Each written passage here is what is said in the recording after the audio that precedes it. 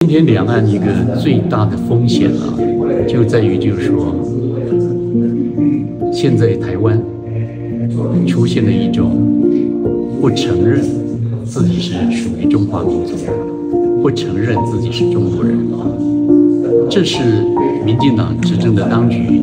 基于他们自己的政党的一个意识形态，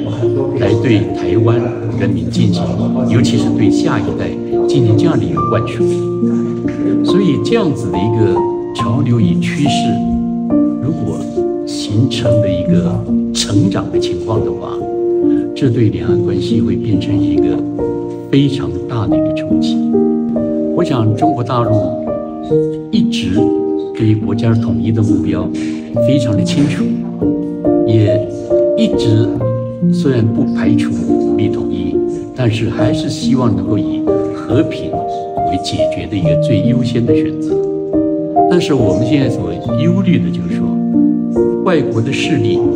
假如说想要利用台湾的民进党的政府来作为一个棋子，来围堵中国，我们就非常担心，就是说，如果外国的势力跟台独的势力要甘心这样子结合被利用的话，我们比较。迫切的就是会逼得